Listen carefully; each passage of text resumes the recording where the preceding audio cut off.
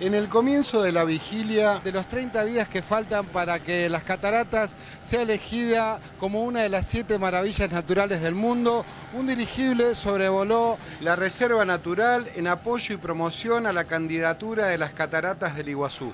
Mira, las expectativas son grandes desde el momento que, quedamos dentro de los 28 finalistas.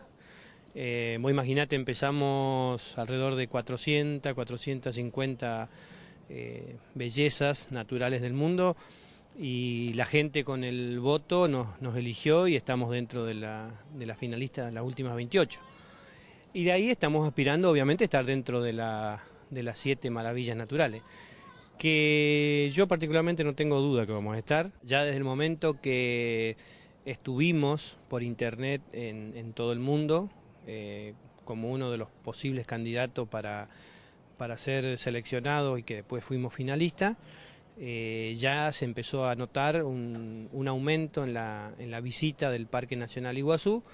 principalmente de gente del, del, exterior, que tal vez no conocía o tal vez lo conocía muy por arriba,